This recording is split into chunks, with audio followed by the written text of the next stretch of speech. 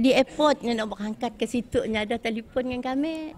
Mak kami tu dah nak masuk membelon mak. Katanya Allah minta hajat kita selamat nak kata kami. Dia. berangkat pagi kemarin lah. Kira kita situ lah. Jadi hari tu cik pukul 2 ciknya nak datang ke kucing tu minta ambil di airport.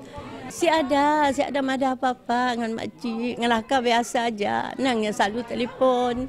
Ngelaka biasa aja di airport. Yang ada mak kami nak balik. Ya, kami si singgah di KL mak. Katanya kami terus ke kucing.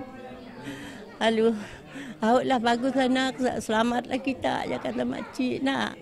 Jam dapat tahu tidak tu anak-anak mek. Tahu awal kami si tahu diambil oleh anak kami adalah laki kami di perumahan dah. Dalam pukul satu setengah yang ambil kami.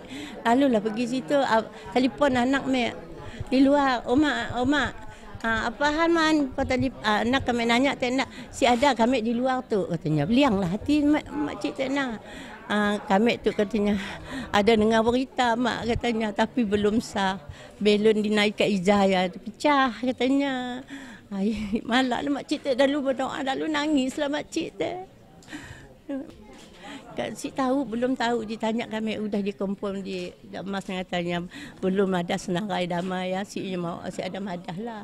Sudah kat sahur kami dalam kumpat setengah telefon lagi anak mak di Mas yang ada ditanya lah nama lima lima enam enam orang ni dama semua diberi dama lah. Madahnya pun uh, madah dama.